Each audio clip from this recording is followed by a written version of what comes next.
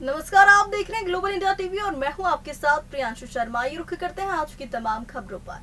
लोकसभा चुनाव तैयारियों की समीक्षा के लिए मंगलवार को दमोह पहुँचे लोकसभा सागर क्लस्टर प्रभारी व गृह पूर्व गृह मंत्री डॉक्टर नरोत्तम मिश्रा ने प्रसिद्ध जागेश्वर नाथ मंदिर में अभिषेक व पूजन अर्चना की एवं उसके बाद जिला भाजपा कार्यालय पहुंचकर पार्टी कार्यकर्ताओं के साथ बैठक एवं चुनाव संबंधित चर्चाएँ जारी की। दमोह से संवाददाता यशबीन सिंह हजारी की खास रिपोर्ट।